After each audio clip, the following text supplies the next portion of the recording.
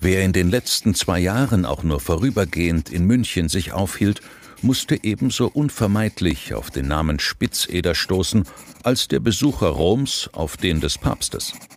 Adele Spitzeder, in deren Vorhof morgens bis abends die Leute Mann an Mann und Weib an Weib sich pressten und drängten, um nach stundenlangem Warten endlich ihr Geld anbringen zu können. Diese Adele Spitzeder war nicht nur die größte Merkwürdigkeit, sie war das Wunder der Stadt. Vor wenigen Tagen nun hat das Wunder seine Erklärung und seinen Abschluss gefunden.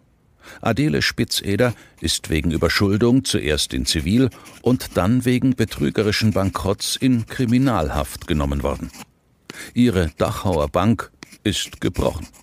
Und Adele, die noch vor wenigen Tagen in Gold, Silber und Banknoten förmlich wartete, steht auf der Schwelle des Zuchthaustores, das sich binnen kurzem hinter ihr schließen wird, um sich nicht so bald wieder zu öffnen.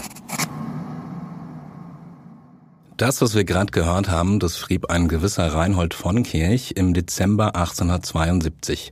Vermutlich handelt es sich bei dem Namen um ein Pseudonym und es handelt sich um jemanden, der Insights hatte in das zweifelhafte Geschäft einer gewissen Adele Spitzeder. Adele Spitzeder war ursprünglich Schauspielerin, brachte aber mit ihrer sogenannten Dachauer Bank rund 33.000 Menschen aus München und Umgebung um ihr Erspartes. Am Ende ging es um etwa 38 Millionen Gulden. Das wären heute mehr als 500 Millionen Euro. Ja, und die Dunkelziffer war vermutlich noch deutlich höher, denn Buchhaltung war nicht gerade das, was bei Adele Spitzeder an der Spitze der Prioritätenliste stand. Mein Name ist Anna Hönscheid. Und ich bin Tobias Görtler. Wir sind Redakteure bei der Wirtschaftswoche und Sie hören Vivo History Financial Crimes.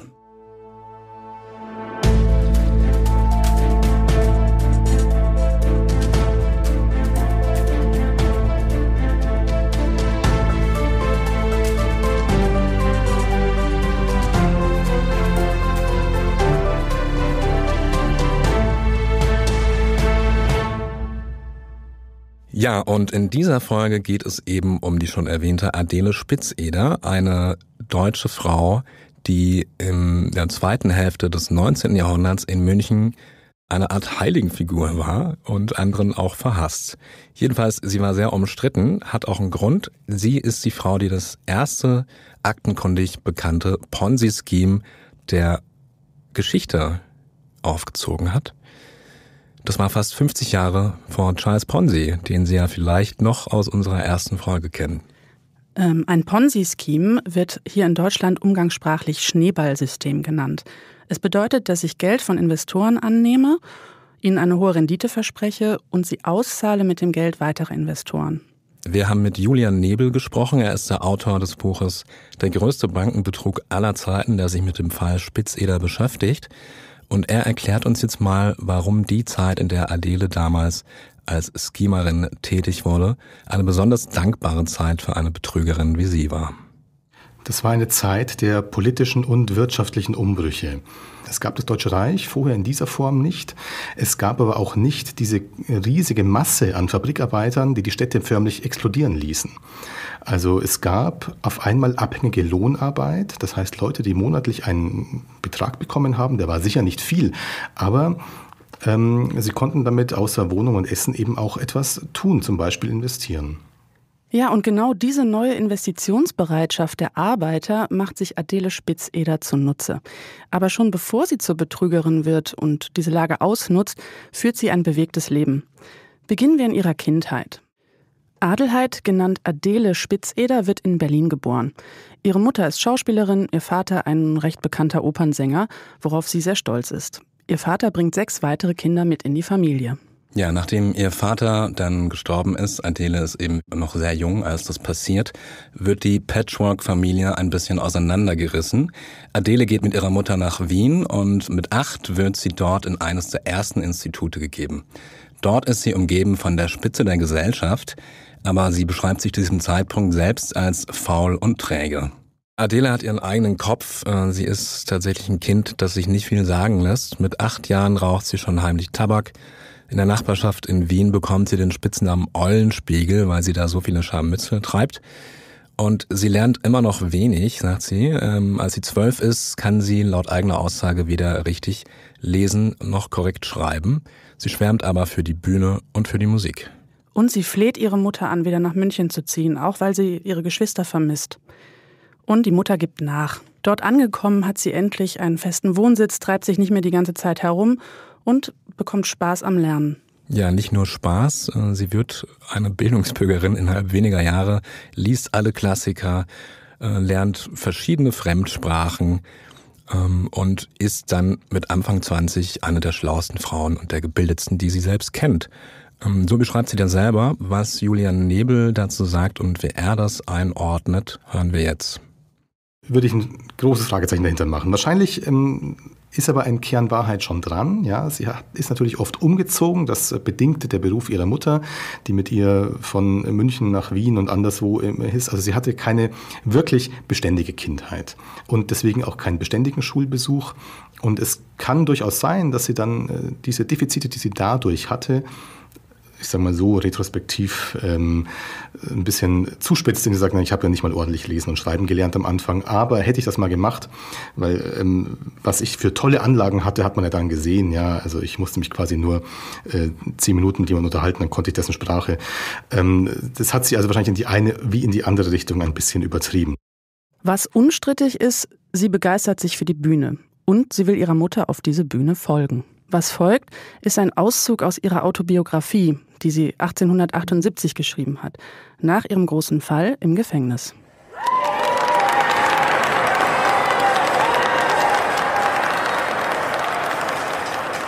Ich teilte meiner Mutter meinen Entschluss mit, aber sie war entschieden dagegen. Es kostete sehr viel Überredung, bis sie endlich ihre Einwilligung gab. Sie fürchtete wohl zunächst, dass ich mit meinem Feuerkopfe den Intrigen im Theaterleben nicht gewachsen wäre wusste sie doch aus Erfahrung, dass sogar Sterne erster Größe sich diesem Schlangengewinde nicht immer zu entziehen vermögen. Zudem hatte sie mich streng sittlich erziehen lassen, mich stets auch überwacht und zum Beispiel im Alter von 20 Jahren nie allein ausgehen lassen. Ich hatte mir aber das Theater einmal in den Kopf gesetzt. Und so musste es also auch durchgeführt werden.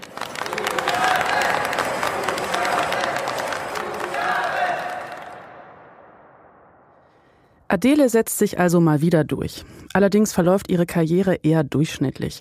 Sie zieht, wie das damals so üblich war, mehr als zehn Jahre durch die Gegend und hat verschiedene Rollen. Der echte Durchbruch kommt aber nicht. Sie selbst glaubt, als Schauspielerin sehr erfolgreich zu sein und dass ihre Kolleginnen und Kollegen neidisch auf sie sind. Julian Nebel schätzt es so ein. Mit einem Wort äh, war ihre Schauspielkarriere gescheitert. Das ist natürlich ähm, ein hartes Urteil, wenn man sieht, dass sie doch zehn Jahre davon gelebt hat. Mit was sie halt nicht zurechtkam, offensichtlich war äh, das, äh, ich sag mal, das Honorar, was sie dafür bekommen hat. Ja, wahrscheinlich hätte sie mit einem bescheideneren Lebensstil davon ganz gut leben können. Aber sie hatte dann irgendwie doch eine große Freude am Geld ausgeben, die wahrscheinlich also viele nachvollziehen können, diese grundsätzliche Freude. Aber es hat halt bei ihr dazu geführt, äh, dass die Ausgaben die Einnahmen immer weit überstiegen haben. Das heißt, die Karriere ist gescheitert, betrachtet man das, was sie selbst vom Leben erwartete. 1866 ist Adele dann als Schauspielerin endgültig gescheitert. Sie ist jetzt vor allem eines pleite.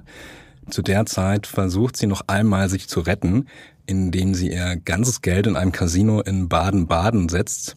Sie verliert aber alles und muss letztlich sogar ihr letztes Hemd im wahrsten Sinne des Wortes dort abgeben. Die arbeitslose Adele ist auf der Suche nach einer Unterkunft und einem Lebensunterhalt. Von der Mutter kriegt sie nur 50 Gulden, was in ihren Augen viel zu wenig ist. Tatsächlich sind 50 Gulden gar nicht so wenig, wie man meinen könnte. Es ist in etwa so viel, wie ein Maurer zu der Zeit verdient. Heute wären es etwa 1000 Euro. Adele wohnt aber mit ihrer Freundin Emilie und sechs Hunden im Hotel, was natürlich deutlich höhere Kosten verursacht.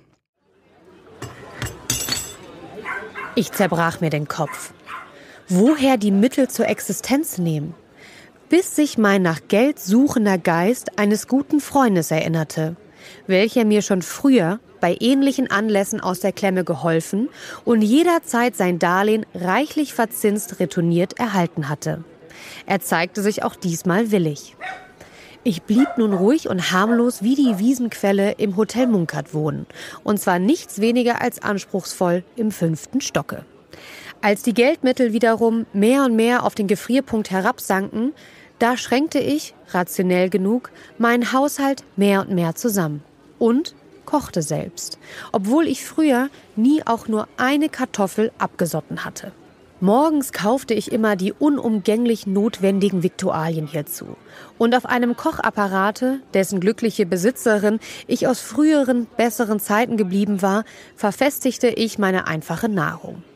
In den Nachmittagsstunden braute ich guten Mokka, rauchte eine Zigarre und abends ging ich in Begleitung einer Freundin in ein billiges Restaurant und verzehrte ein frugales Abendmahl. All diese Entbehrungen hätten sofort ihr Ende erreicht, wäre ich zu meiner Mutter gezogen und hätte ich meine Freundschaften aufgegeben. Aber das konnte ich nicht. Es wäre ein Gewaltstreich gegen meine eigene Natur gewesen. Adele ist zu diesem Zeitpunkt 36. Das ist aber nicht der Grund, warum sie nicht zu ihrer Mutter ziehen will. Ähm, es hat vor allem was mit ihrer Freundin zu tun. Adele ist eben homosexuell und ihre Mutter scheint das nicht so zu akzeptieren. Das schwingt immer wieder durch in ihrer Biografie, auch wenn es nie so konkret besprochen wird. Stattdessen lebt sie also im Hotel, ähm, sie pumpt immer wieder Freunde an, zahlt einen Kredit mit dem nächsten ab, wendet sich dann an andere Leute, die ihr Geld leihen und die Zinsen, die sie dann, die Zinsen bei all diesen Darlehen, die sie wiederum mit anderen Darlehen abbezahlt, wachsen entsprechend immer weiter.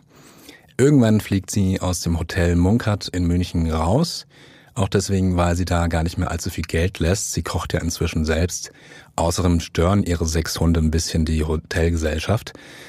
Als sie das Hotel verlässt, soll sie dem Hausmeister noch die Worte zugerufen haben, ich werde noch einmal eine Rolle spielen in dieser Welt. Sie zieht nun in das Hotel Österreichischer Hof. Den Wirt und seine Frau kennt sie noch aus der Zeit in Wien und äh, aus alter Vertrautheit stellen die beiden ihr zwei Zimmer zur Verfügung zu einem recht mäßigen Preis. Aber auch ein mäßiger Preis muss erstmal bezahlt werden. Adele braucht nach wie vor händeringend Geld um die vielen Kredite, die immer höhere Zinsen zur Folge haben, abzubezahlen. Frühjahr 1869.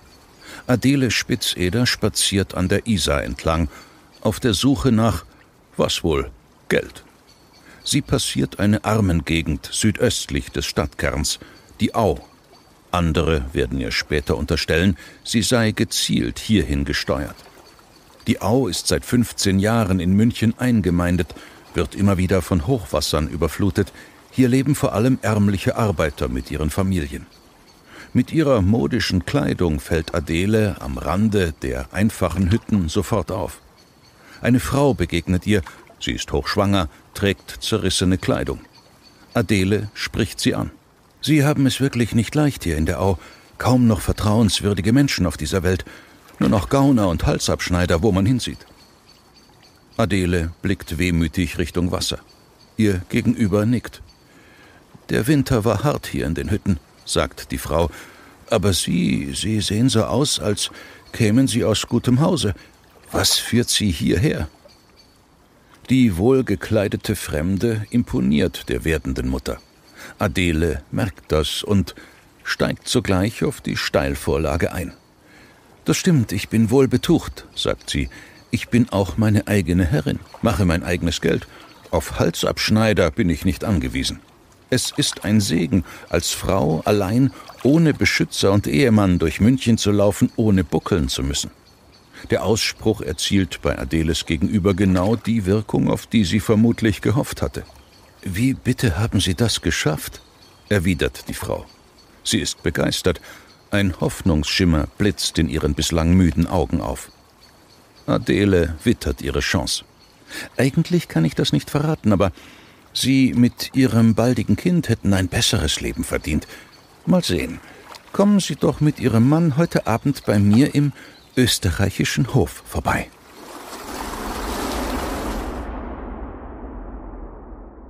Die Frau, die Spitzeder hier in der ärmlichen Gegend Au nahe München getroffen hat, wird Adeles erste Kundin werden.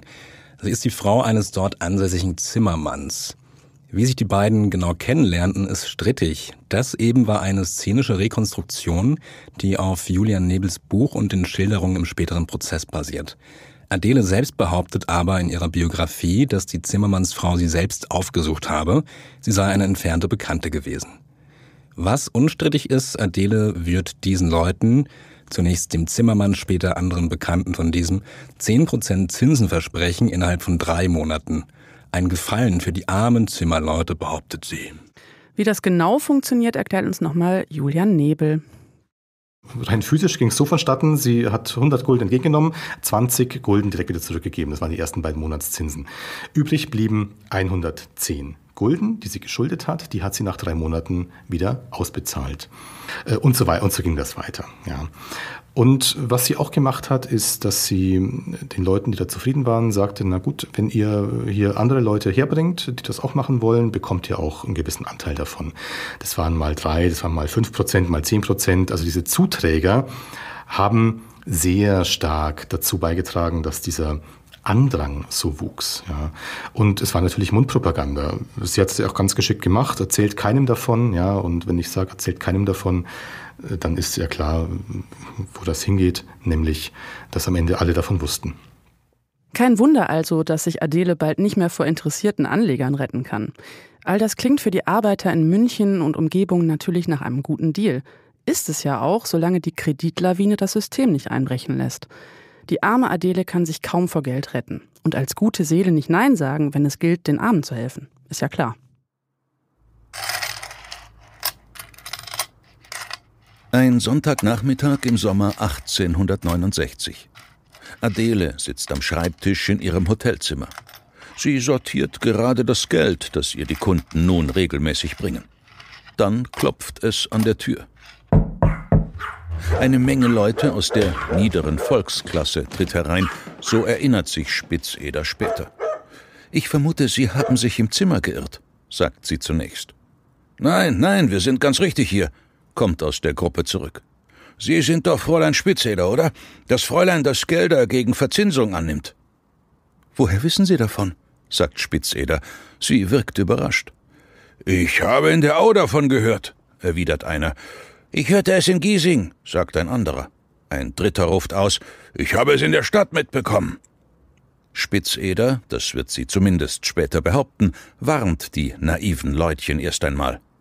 Ich bin nicht imstande, auch nur die geringste Sicherheit oder Deckung zu bieten. Das macht nichts, wir wollen's probieren, kommt zurück. Ich nehme Gelder nur auf persönliches Vertrauen an, ohne dafür auch nur einen Schein von Sicherheit bieten zu können. Ihr möchtet euch wohl hüten, euer Geld unüberlegt und leichtsinnig anzulegen, mahnt Spitzeder noch einmal. Das verunsichert die Leutchen dann doch. Sie wenden sich kurz ab, beratschlagen sich leise in einer Ecke des Zimmers. Dann bricht ein Zimmermann die Besprechung auf. Mit den Worten Nehmen Sie nur die hundert Stück, tritt er an Spitzeder heran. Er legte eine Hundert-Gulden-Rolle auf Spitzeders Schreibtisch ab. Ein zweiter aus der Gruppe folgt, dann ein dritter. Auch sie möchten ein Päckchen Geld loswerden. Halb gezwungen nahm ich also diese Darlehen an, erinnert sich Spitzeder später. Die anderen schickte ich mit der Mahnung, sich die Sache vorher genau zu überlegen, wieder fort. Am folgenden Tag schon kamen die fortgeschickten Personen wieder, und ich musste nun, wohl oder übel, auch ihr Geld annehmen. Julian Nebel erklärt uns jetzt noch einmal, für wie glaubwürdig er diese Szene hält. Ja, die Erzählung, dass äh, sie äh, laut immer gesagt hat, sie, hat, sie kann keine Sicherheiten geben, also das ist wirklich komplett auf Risiko der Leute, das ist natürlich vollkommen richtig, weil das hat sie auch nach vielen Zeugenaussagen ähm, ausdrücklich und äh, nachdrücklich immer so gesagt und ich glaube, das war ein ganz großer Teil des Erfolgs. Sie hat ja auch es so gemacht, dass wenn der Andrang zu groß wurde, dass die Leute auch weggeschickt hat und gesagt, ich will euer Geld ja gar nicht. Ja? Also sie hat quasi eine künstliche Verknappung geschaffen ähm, und das, also das ist relativ platt natürlich eigentlich. Ja? Aber das hat es natürlich dann noch interessanter gemacht. Für Adele läuft jedenfalls alles wie am Schnürchen. Ein Jahr lang kommt das Geld immer mehr und mehr rein. Dann gibt's an ihrem Wohnort, der gleichzeitig auch ihr Büro ist, einen kleinen Zwischenfall.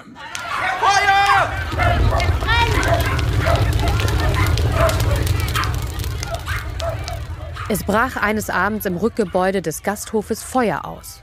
Meine Freundin und ich im panischen Schrecken ergriffen eilends über Hals und Kopf die Flucht. Die Freundin nahm die Geldtasche mit etwa 200 Gulden Inhalt, ich die Hunde im Armkorb. Einen Hut der Königin Elisabeth, den ich damals außer einigen Theatergarderobe-Gegenständen noch besaß, stülpte ich auf den Kopf und eilte im Schlafrock und Pantoffeln schnurstracks ins Deutsche Haus wo selbst ich mit der langen Feder auf dem Hute, den Hunden im Armkorb, Pantoffel und Schlafrock hinzugerechnet, bei Wirt Frenkel nicht geringes Erstaunen hervorrief. Herr Frenkel, richten Sie mir zwei Zimmer im zweiten Stock. Es brennt, rief ich gravitätisch, sprach's und stieg gemessenen Schrittes die Stufen hinan, um meine aus Feuersgefahr gerettete Haut samt Vermögen in Sicherheit zu bringen. Oben angekommen, setzte ich mich mit größter Gemütsruhe auf das Sofa und qualmte eine Zigarre, während sich meine Dienerin dem Geschäfte der Hundefütterung widmete.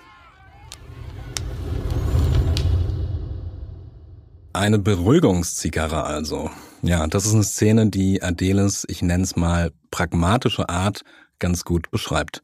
Von einem Feuer lässt sie sich nicht so leicht aus der Ruhe bringen. Es gibt aber noch weitere Probleme, die zu dieser Zeit auftreten. Es kommen nämlich erste Skeptiker ins Spiel. Die Presse kommt ihr langsam auf die Schliche. Da ist vor allem eine Zeitung zu nennen, das sind die Münchner Neuesten Nachrichten. Das ist auch die Zeitung übrigens, die Adeles Geschäft den Namen Dachauer Bank gibt. Nämlich deswegen, weil viele Arbeiter aus Dachau stammen, die bei Adele anlegen. Die Münchner Neuesten Nachrichten schreiben schon damals, Zitat, dass sich im deutschen Hause zwei Schwindlerinnen befänden, welche den Leuten, namentlich rechts der Isar wohnenden, das Geld aus der Tasche zu holen suchen. Daraufhin kommt die erste Auszahlungswelle. Viele ihrer Kunden verlangen ihr Geld zurück, aber Adele stand fest wie die Eiche im Wind, so beschreibt sie es selbst. Sie hat genug Rücklagen gebildet, um alle auszuzahlen. Gleichzeitig hat sie aber auch immer mehr Fans. In Münchner Wirtshäusern singt man zu dieser Zeit ein Lied. Die Dachauer Bank kriegt noch das Geld vom ganzen Land. Sie ist inzwischen eine Art Star und so kommen immer mehr Kunden in die Dachauer Bank. Adele muss weitere Zimmer mieten, stellt Personal ein, erst eine Kassiererin, dann ihre alte Theateragentin Betty Winter für die Buchführung. Sie kann sich bald nicht mehr retten vor Geld. Und das, obwohl sie teilweise recht grob ist und ihre Anleger nicht besonders nett behandelt. Oder gerade deswegen? Ja, das klingt erstmal ein bisschen so, als würde sich das widersprechen.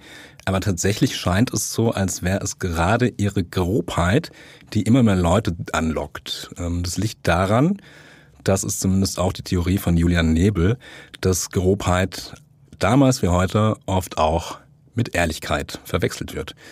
Im Falle von Adele sind es dann Sätze wie, ich zitiere jetzt aus ihrer Biografie, Kalbsköpfe, ich sag's euch rundheraus, dass ich keine Sicherheit gebe.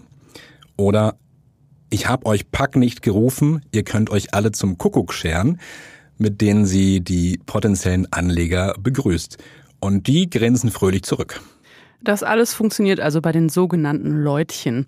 Das Geschäft wächst und wächst. Millionen und abermals Millionen kamen und gingen, sagt Adele. Irgendwann wird dem Hotel das Treiben zu bunt. Adele zieht aus. Laut eigener Aussage besitzt sie zu diesem Zeitpunkt ungefähr 300.000 Gulden. Es war an einem Oktobersonntag, als ich in mein schon vorher möbliertes neues Haus einzog. Das Wetter war regnerisch. Der Himmel sah grau herab. Wahrlich ein böses Omen. Ich fuhr mit meinen Hunden in die Schönfeldstraße, wo meiner ein ganz feierlicher Empfang hatte.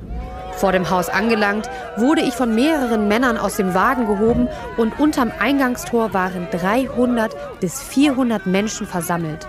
Darunter weiß gekleidete Kinder mit Blumen und Kränzen, um mich zu empfangen.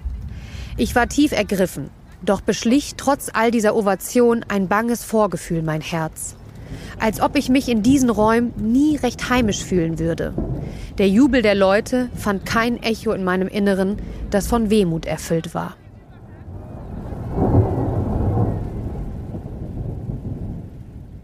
Adele hat also bereits böse Vorahnungen. Bisher aber läuft alles ziemlich gut für sie.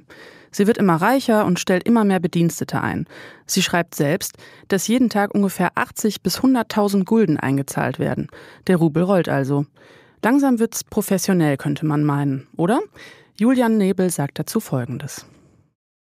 Der Umzug in ihr eigenes Haus, das sie äh, quasi äh, also quasi von der Untermieterin in Hotels, wo sie vorher das alles gemacht hat, äh, hin zu einer, zu einer, ich sag mal, Geschäftsniederlassung, sieht natürlich professionell aus, wie ein Schritt zur Professionalisierung. Das war ja auch ähm, nämlich ein sehr professioneller Marketing-Gag. Also Marketing ist sowieso etwas, was sie sehr gut konnte. Professionalisierung in der Hinsicht, ähm, dass sie da irgendwie Bilanzen gemacht hätte, auch eine ordentliche Buchführung gemacht hätte, nein. Da hat sich mit dem Umzug überhaupt gar nichts verändert und auch wenn sie da äh, dann eine Infrastruktur aufgebaut hat, dann bestand die ja nur darin, dass da irgendwie mehr Platz war für die Leute, dass sie Wartebereiche hatten, dass sie da gegenüber die Wirtschaft angemietet hat, wo dann die Leute äh, warten konnten, bis sie dran waren und dass sie Tische aufgestellt hat und ein bisschen mehr Platz hatte zum Lagern äh, von Wertpapieren und Geldsäcken. Ja, so wirklich professionell geht's also noch immer nicht zur Sache, eher im Gegenteil. Dennoch, eine Menge Kohle kommt Tag für Tag rein, das haben wir jetzt schon mehrmals gehört. Vielleicht investiert sie das ja jetzt in andere Projekte und schafft so doch noch irgendwie ein Geschäftsmodell. Nicht wirklich.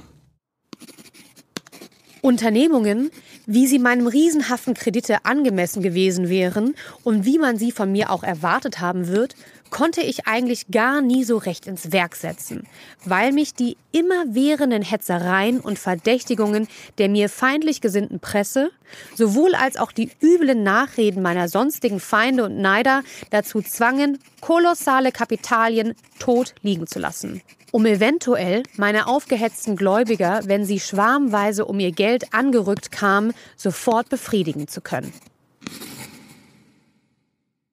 Ja, Adele hat ja jetzt schon ein, zwei Mal die Erfahrung gemacht, dass es mitunter auch zu Auszahlungswellen kommen kann.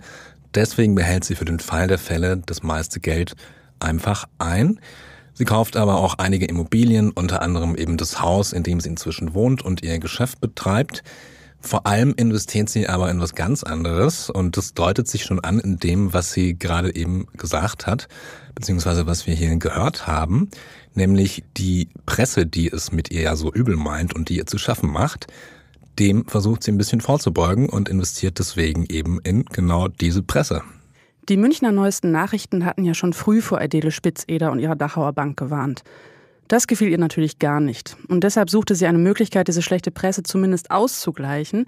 Sie traf sich mit Redakteuren einiger eher katholisch, aber vor allem konservativ geprägter Zeitungen, verteilte Geld, kaufte sich letztlich deren Wohlwollen. Und so entbrannte ein kleiner Zeitungskrieg. Und jede Zeitung, die finanziell nicht so gut dastand, da war Adele natürlich sofort bereit, die einfach aufzukaufen das deutet auch schon auf das andere hin, in was sie sehr viel Geld investierte. Denn Adele ist ja eine gutmütige Seele. Das beschreibt sie ja immer wieder so. Deswegen tritt sie vor allem als Wohltäterin auf. Was sie selbst dazu sagt, das finde ich ganz amüsant, ist unter anderem folgendes. Zitat. Das fabelhaft viele Geld, welches man mir wieder meinen Willen in den Schoß warf, diente nicht etwa dazu, meiner Genusssucht zu frönen oder nur um meinen Schmarotzern eine wohlfeilende Lockspeise zu bieten, sondern dasselbe kam auch teilweise dem Volke und den Armen zugute. Ähm, das Zitat geht weiter. Adele Spitzeder ist denn doch besser als ihr Ruf. Also das sagt Adele selber über sich. Das Highlight dieser Wohltätigkeitsinvestition ist die sogenannte Volksküche.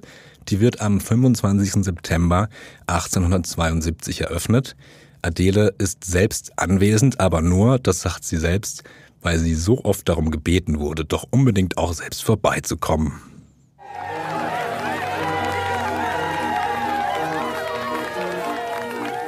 Um 11 Uhr kam ich angefahren und stieg, um Aufsehen zu vermeiden, vor dem Hinterhause ab. Aber schon auf dem Wege, den ich passieren musste, hatten sich Gruppen von elegant gekleideten Ladenschwänglern durch impertinente Blicke, die sie mir zuwarfen, bemerklich gemacht. In dem Augenblicke, als ich unter das Tor trat, da musste sich doch die Überzeugung in mir geltend machen, dass die Zahl meiner Freunde eine bedeutend größere sei als jener meiner Feinde. Denn es hatte sich eine wahre Flut mir wohlgesinnter Menschen, weiß gekleidete Mädchen an der Spitze, davor angesammelt, um mir in verschiedenen Anreden ihren Dank für die Errichtung der Volksküche Ausdruck zu geben. Nach nicht enden wollenden Hochrufen wurde ich sodann mit Blumen förmlich überschüttet, sodass ich dieselben unmöglich allein tragen konnte und mir der Polizeikommissar dabei behilflich war. Die Volksküche läuft gut. Bier ist hier einen Kreuzer billiger, Essen ebenfalls sehr günstig. Einmal werden wohl in einer einzigen Stunde 2000 Knödel verkauft. Oftmals wurde so viel konsumiert, dass um 11 Uhr vormittags schon der ganze Vorrat aufgebraucht war. So beschreibt sie es selbst. Daneben übernimmt sie diverse Taufpatenschaften für Kinder von Anlegern, spendet viel Geld an die Kirche und inszeniert sich insgesamt als brave, großzügige Christin. Ob das alles nur Show war oder sie wirklich eine Wohltäterin war, Julia Nebel denkt so darüber. Also ich, wahrscheinlich ist irgendwie wenn man das so sagen kann, in jeder Wohltat immer auch ein bisschen, bisschen Eigennutz drin. Ähm, und der Eigennutzanteil ist eventuell bei ihr ein bisschen höher als bei anderen. Aber ich will ihr das, kann ihr das gar nicht absprechen, äh, dass sie eventuell da auch wirklich gerne mal geholfen hat im Einzelfall. Dass aber natürlich diese ganzen Großwohltaten, die sie gemacht hat, also wie die Volksküche, wo das Bier immer irgendwie ein Pfennig äh, billiger war als woanders, was ja auch äh, marketingtechnisch wahnsinnig clever ist, ehrlich gesagt. Und dann, wenn sie dann ihre Ausfahrten aufs Land gemacht hat, die also ja auch ihren Reichtum zeigen sollten, ja, auch der Landbevölkerung, von der ja viele sag mal, viele, viele, ich nenne sie mal Kunden der ihrer Privatbank ähm, kamen, die sollten ja sehen, dass sie reich war, dass sie erfolgreich war und dass sie dann irgendwie da auch äh, Gelage machen kann und die Leute einladen kann. Und wenn sie durch ein Dorf fährt, dann kriegen die halt irgendwie alle äh, Kaffee oder Schweinebraten oder Knödel. Ähm, das hat die natürlich gefreut. Insofern ja, Wohltäterin und Christin. Sie wusste natürlich schon sehr genau, wie sie Mundpropaganda ähm, einsetzen kann. Und wie alle, die auf dem Dorf aufgewachsen sind, äh, ich eingeschlossen, äh, wissen, dass da, jedenfalls damals war es so, dass äh, Pfarrer und Lehrer waren die entscheidenden Personen und mit den Pfarrern hat sie sich sehr gut gestellt, was ja auch sehr leicht war. Ja, dann gab es den Pfarrer in Hirtelbach im Dachauer Land, ein wunderschönes Dorf, der hat einfach Zigarren geliebt und die, die hat, sie, hat er bekommen von ihr. Und wenn sie da Glocken gestiftet hat für Münchner Kirchen und so weiter, das ist natürlich ähm, also wer sowas macht, der kann ja nicht schlecht sein. Ja, und das war, äh, also PR konnte sie. Und diese PR zeigte Wirkung. Und vermutlich genau die, die sich Adele eben erhofft hatte. Sie wird gefeiert, überall wo sie hinkommt, zeigt sich dort auch großzügig, gibt Bier aus, was wiederum zu noch mehr Jubel führt. Und dennoch, so wirklich genießen kann sie all diese Ovationen nicht. Oh, wer damals in mein Inneres hätte sehen können. Wie unglücklich, trostlos und öde es da aussah. Diese fortwährenden Ovationen und zahllosen Hochrufe, sie waren keine Musik für mein Ohr, sondern sie quälten, beängstigten und beklemmten mich unsäglich. Ich war damals bemitleidenswert, denn trotz meiner Millionen stiegen fortwährend von meinem Geiste düstere und traurige Ahnung auf, die ich nimmer mehr verscheuchen konnte sagte mir doch eine Stimme in meinem Inneren, dass ich nur von Habsucht, Eigennutz und Heuchelei umgeben sei. Ja, Adela hat zu dieser Zeit eine böse Vorahnung und die ist auch nicht unbegründet, denn obwohl sie unglaublich viel Geld in PR investiert hat und obwohl die halbe Presselandschaft um München inzwischen in ihrer Hand ist, das haben wir ja bereits gehört, ist es so, dass auch die Kritiker immer lauter werden. Das liegt auch daran, dass der Fall Adele Spitzeder inzwischen zu einem echten Problem für die öffentliche Hand auch wird. Es ist so, dass ganz viele Sparkassen in der Gegend um München, die ja in öffentlicher Hand waren, überhaupt kein Geld mehr plötzlich hatten, weil ihre Kunden dieses ganze Geld abzogen, um es bei Adele zu investieren, was wiederum natürlich ein Problem für die Staatskasse bedeutete. Deswegen hat sich auch die Politik inzwischen mit Adele beschäftigt und das Innenministerium gab eine Warnung vor Investitionen bei Adele raus. Und diese Warnung zeigte Wirkung. Es wurde dann immer ein bisschen unsicherer, die Stimmung, sie kippte noch nicht wirklich, aber sie wurde, sie wurde so ein bisschen zweifelnd, ja, ob das jetzt wirklich so gut war. Und man sieht schon die Entwicklung, dass dann die Abflüsse irgendwann sehr schnell vor dem, also ein paar Wochen vor dem Ende, die Zuflüsse überstiegen. Und um das zu beschleunigen, hat dann tatsächlich die Polizei Schuldscheine der Spezifischen Privatbank gekauft, ähm, um das tatsächlich gesammelt, also eine, große, eine große Summe gesammelt zurückzufordern und so den Zusammenbruch des Schneeballsystems zu beschleunigen und zu erzwingen. Und dann ist es eben tatsächlich soweit. Das Kartenhaus fällt in sich zusammen. Ich habe ihr vertraut! 12. November 1872, Schönfeldstraße 9. Es ist am frühen Morgen um 3.30 Uhr, als Adele Spitzeder nicht länger schlafen kann. Hunderte Anleger, wahlweise panisch, wahlweise erbost, wahlweise in Sorge um ihre Adele, in jedem Fall aber aufgebracht, drängen sich schon vor Sonnenaufgang vor den Toren der Dachauer Bank. Die öffentlichen Warnungen der letzten Tage haben ihre Wirkung nicht verfehlt. Um vier Uhr in der Früh haben Adeles Mitarbeiter bereits die ersten Menschen hereingelassen. Dann, noch im Morgenrock, tritt Adele Spitzeder selbst in ihr Zahlungszimmer. Bleibt ruhig und rührt euch nicht, solange ich hier zugegen bin, ruft sie der Masse zu, die sofort verstummt. Adele begibt sich zurück in ihr Zimmer im zweiten Stock. Um sieben Uhr nehmen Adeles Zahlmeister ihren Dienst auf. Von Adeles Bett führt eine hölzerne Rutsche in den Auszahlungsraum. Zuerst lässt sie 80.000 Gulden in Silber heruntergleiten, weitere Sendungen folgen. Am Nachmittag, kurz vor 4 Uhr, hat sie 180.000 Gulden ausbezahlt. Zu diesem Zeitpunkt hat sich die ganze Schönfeldstraße mit Gläubigern gefüllt. Auch Schaulustige haben sich dazugesellt. Die Panik unter den Leuten wächst. Um 4 Uhr werde Adeles Geschäft zugesperrt, kursiert in der Stadt. Die Menschen macht das nur noch panischer. Sie stürmen auf Adele zu, weinend und schreiend. Bitte sagen Sie uns nur, was wir jetzt tun können, flehen die Menschen. Adele versucht sie zu beruhigen. Die Gerichtskommission habe ja gar nichts gegen sie in der Hand. Alles würde so weiterlaufen wie bisher, sobald sich die Lage einmal geklärt habe. Dann, pünktlich um 4 Uhr, ist es soweit. Soldaten rücken in die Schönfeldstraße vor, ein Polizeiaufgebot bahnt sich den Weg durch die Menschenmassen. Ihnen folgen sieben Herren von der Gerichtskommission, wie angekündigt. Die Auszahlungen werden sofort eingestellt, auf gerichtlichen Befehl. Wer sein Geld jetzt nicht hat, wird es vermutlich nie wiedersehen, fürchten die Leute, nicht zu Unrecht. Da hilft es wenig, dass Adele noch immer ihre Unerschrockenheit zu inszenieren weiß. Was wünschen die Herren von mir? ruft sie ihren Vollstreckern zu. In Wahrheit weiß sie ganz genau, der Tag der Katastrophe, so wird sie es später schreiben, ist eingetreten. Ich habe ihr vertraut! Tja, es ist vorbei. Am Ende besitzt sie nicht einmal zwei Millionen und hat Schulden von insgesamt zehn Millionen Gulden. Adele wird in das Untersuchungsgefängnis in der Badstraße gebracht und beschreibt diesen Moment sehr dramatisch. Ein Ungewitter sei über sie hereingebrochen, Berge von Gold seien durch ihre Hände gegangen und nun ist sie Gefangene. Das Ende der Dachauer Bank eben. Ja, die arme Adele mal wieder.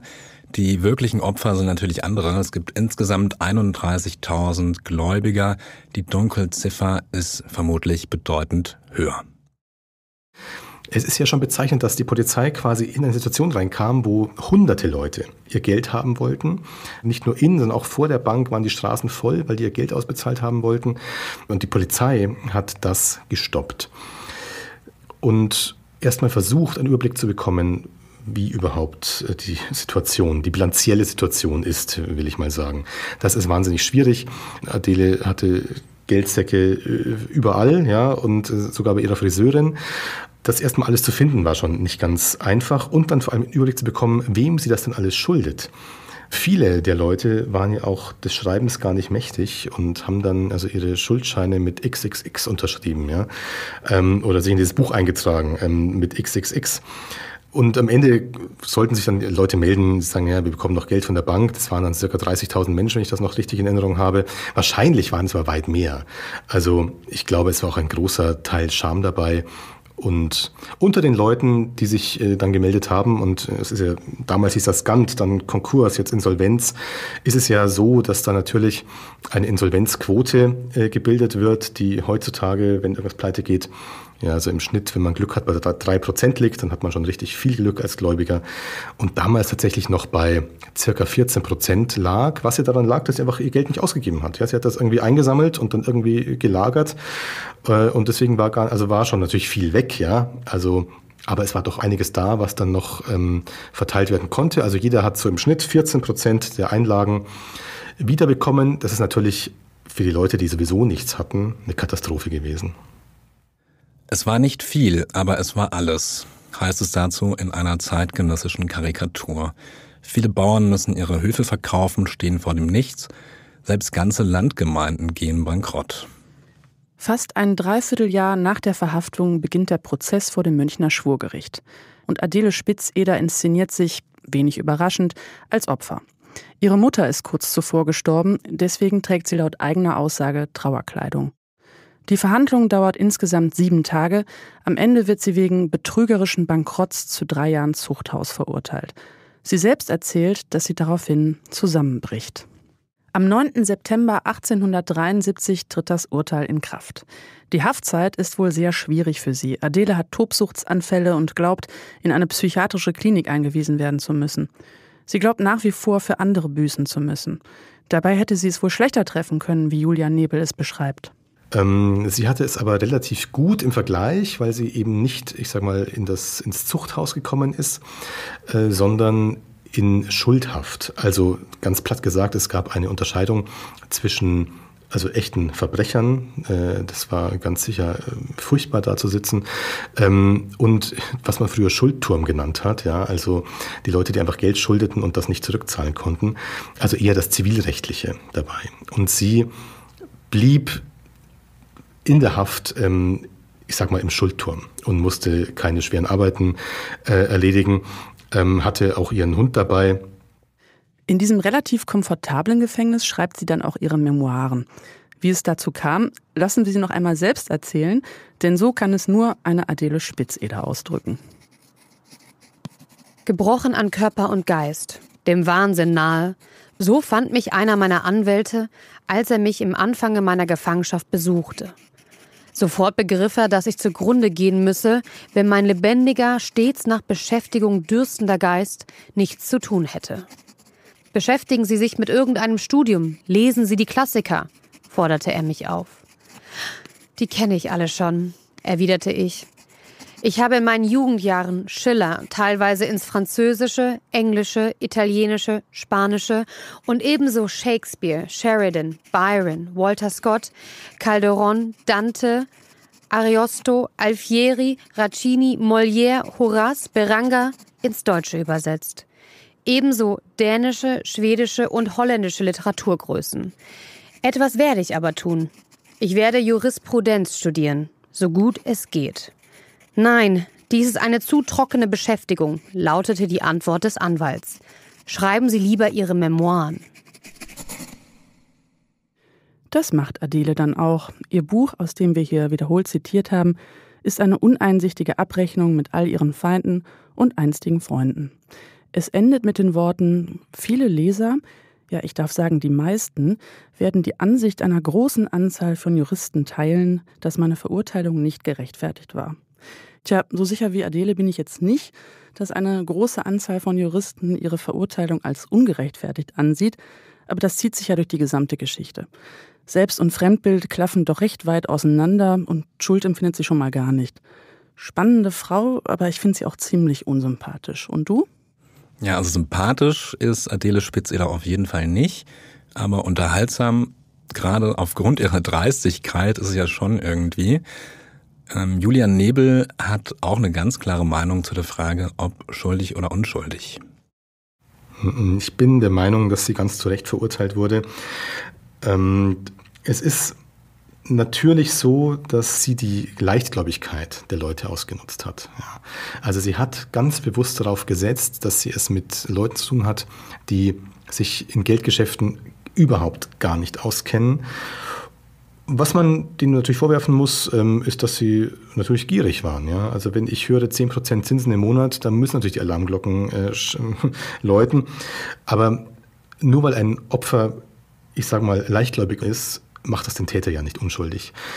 Und zu diesem Schluss äh, muss ich auch kommen, weil sie natürlich ganz genau wusste, wo das hinführt, nämlich in den Verlust der Ersparnisse von ganz vielen Leuten. Ich denke, Julian Nebels Gesamtfazit zu Adele Spitzeder ist auch ein gutes Schlusswort. Eine wahnsinnig beeindruckende Frau, die ihren Weg selbstbewusst gegangen ist und das besser nicht gemacht hätte. Und damit vielen Dank fürs Zuhören. Wir hoffen, Sie sind auch bei der nächsten Folge wieder mit dabei.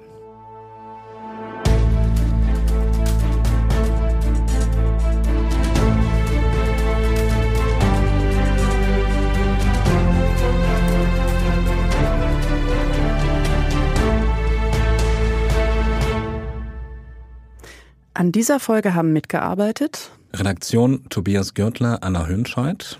Sounddesign Florian Pape. Musik Christian Heinemann. Sprecher Friederike Kuttig, Thomas Balou Martin. Weitere Stimmen Dominik Zubel, Nadine Kröppel, Tim Seckel, Lars Gertges, Nina Zimmermann und Leonard Dumke.